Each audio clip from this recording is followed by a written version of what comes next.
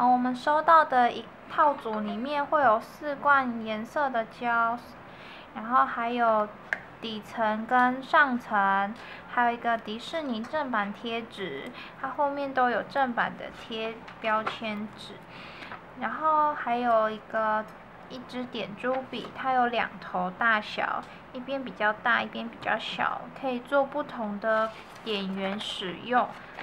还有附赠一个镊子，镊子就是夹贴纸的时候比较不会手碰到，因为有时候手上面会有油脂或水分，会影响贴纸的粘性。里面我们有附赠一个说明书，上面的作品图都是用这个品牌的胶，都可以做彩绘使用，都是用这瓶胶所做的彩绘。那上面呢有简单的四个步骤，就是用点珠笔做出来，还有搭配这个色所设计的。那现在这一套呢，我们除了里面所说的工具以外，还有附赠一个六瓦灯是赠送的，它很方便携带，可以外出使用，然后又很轻巧。但是，嗯，如果您觉得这个要照比较久的话，你可以参考一下家家购有可以换比较瓦数比较高的灯，这样子在照射的时间上就会节比较节省时间。好，那首先呢，我先用甲片做示范，我们会轻轻的呢用抛膜把指甲表面抛雾，抛雾的话就是让胶可以。跟甲面做更有效的结合，比较不容易，比较持久，比较不容易掉。那抛膜完后呢，我们会用基底，基底就是所谓的 base，就是最底层，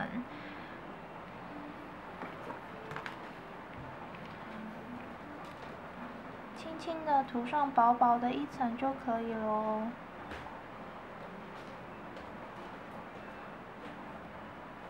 上去的话呢，我们刚刚所抛磨的表面就雾雾的感觉就会不见了。然后贝斯同时也可以隔离隔离色素。好，我们涂了薄薄的一层之后呢，就要先照灯。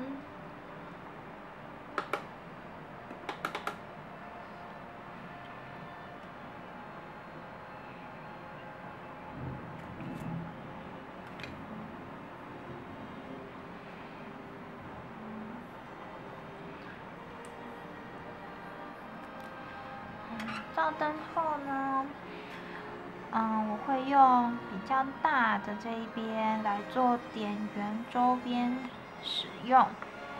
那我们首先呢，我习惯会先用暗色系，比较先来，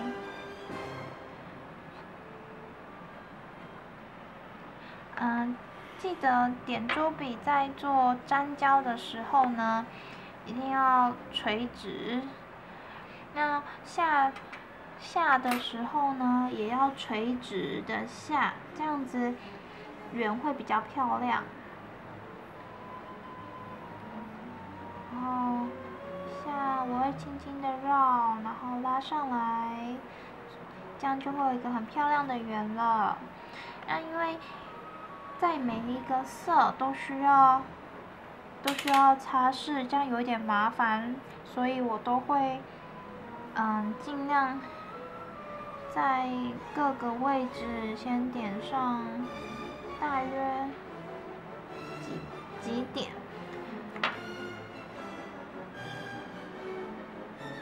这样比较节省时间。那如果说觉得这样子，嗯，怕位置抓的不太好的话呢，当然你也是可以边边换色边画，就是用自己喜欢的色。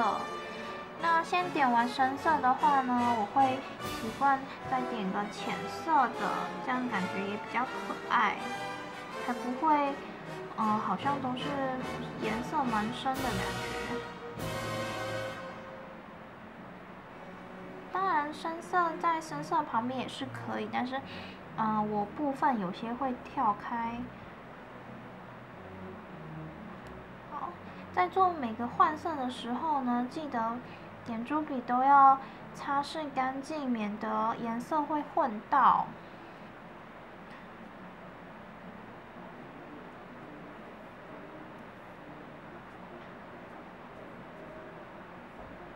嗯记住量不要太多，因为量一多的话呢，可能会让它有混到色，可能边边就会有晕染的情况。那如果说稍微有晕到，其实也没关系，不用太刻意，因为这样也蛮可爱的。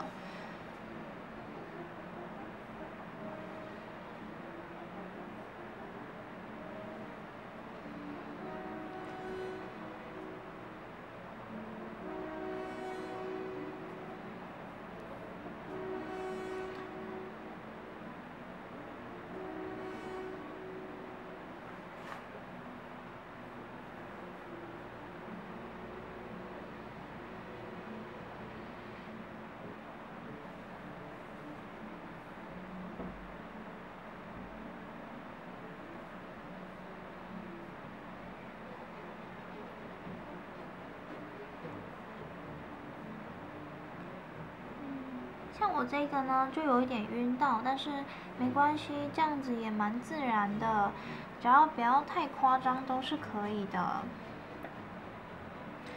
那这样稍微颜色就有比较缤纷了，那剩下的空格呢，就可以继续用你想要的颜色继续填满它，填满一圈。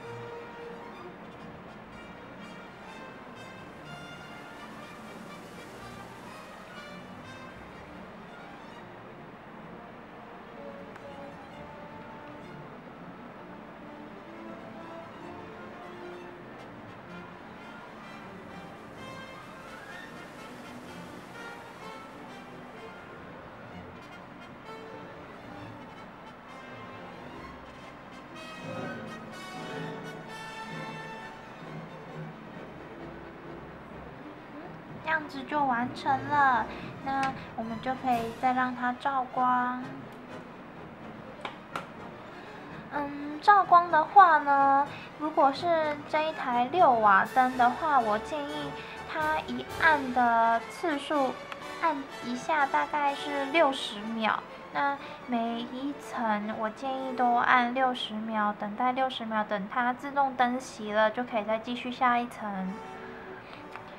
那如果说是瓦数较高的灯呢，我们建议大概在十秒或二十秒就可以了，因为瓦数越高的话，它照干的速度就会越快。那现在呢，我们都已经照干了，然后我们就可以拿出我们的贴纸。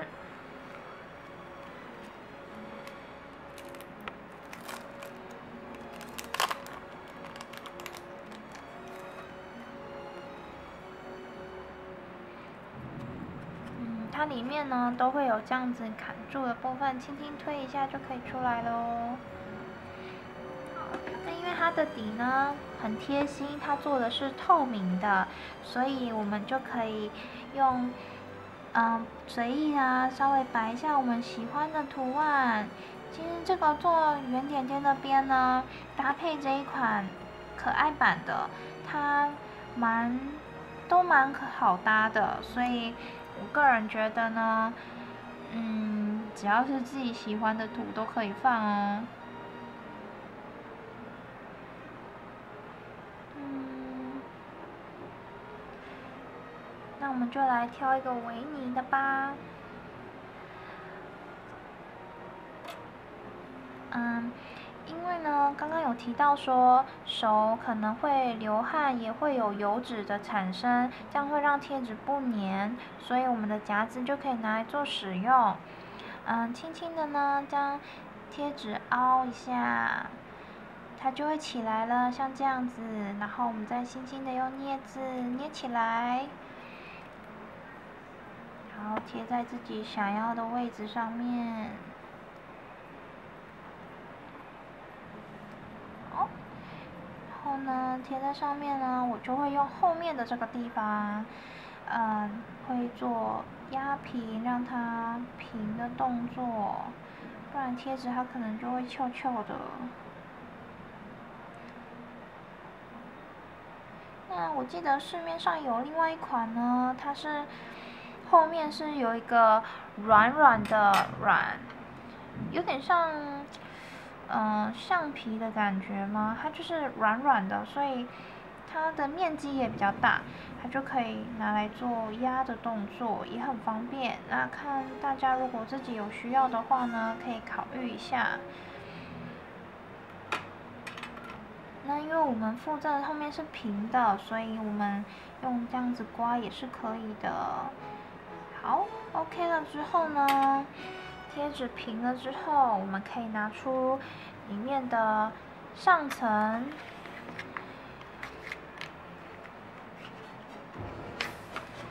上层，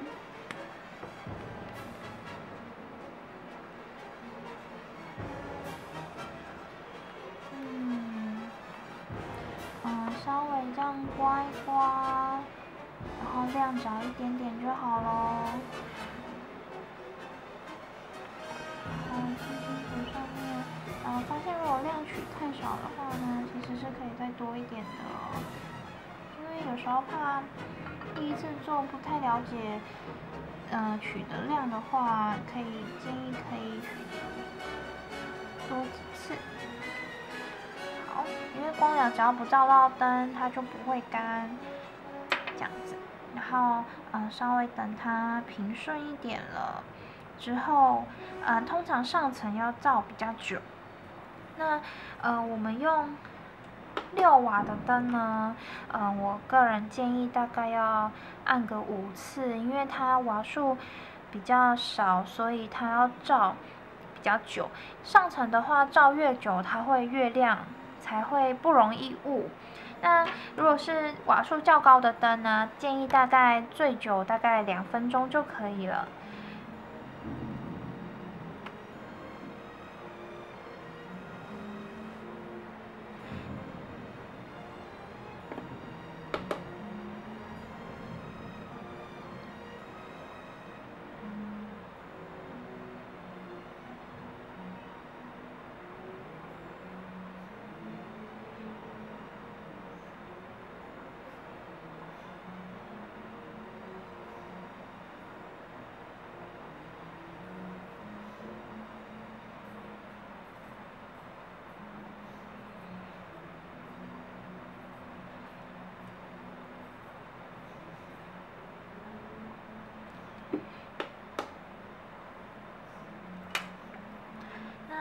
在等待的时间呢，我来给大家看一下这瓶胶，它做整面涂单色的使用。那我选个黄色好了。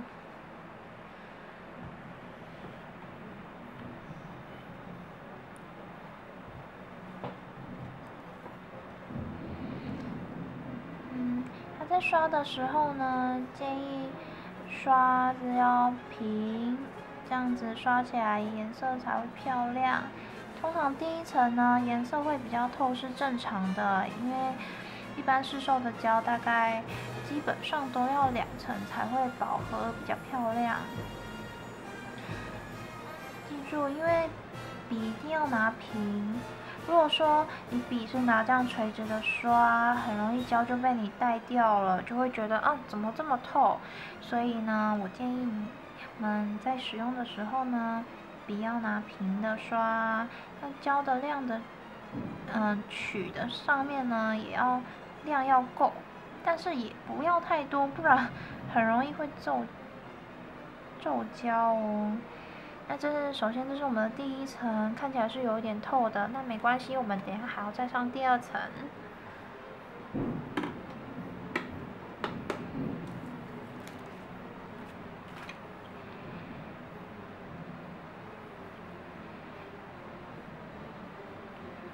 那因为呢，这些胶都是照到灯就会很容易干，所以我建议你们，如果说呃平常可能在使用的时候比较长时间不用，可以稍微用盖子放在上面，别让它直接照到灯，不然可能就是上面会有印掉，保存上面也要小心。那我们现在呢，上第二层。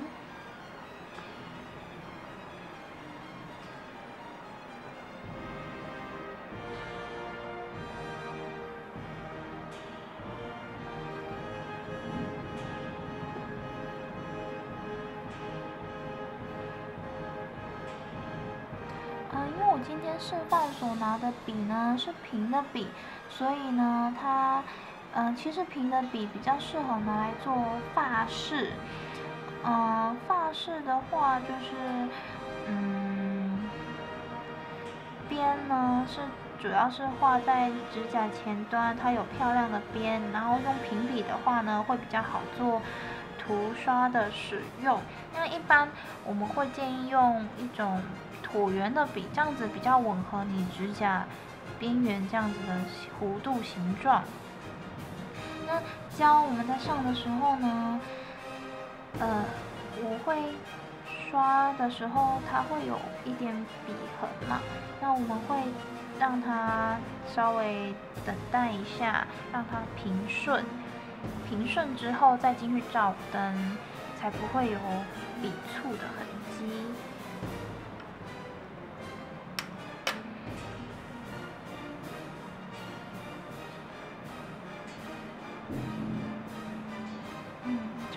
等它平了之后呢，就可以进去照灯了。啊，这就是我们刚刚第一次所做的成品，它上层非常的透亮，只要时间照得够久、够干，它就基本上可以维持很久的透亮度。然后这是我们刚刚上两层之后的黄色，颜色也非常的饱和，只要嗯手法对，基本上。颜色都会很饱和。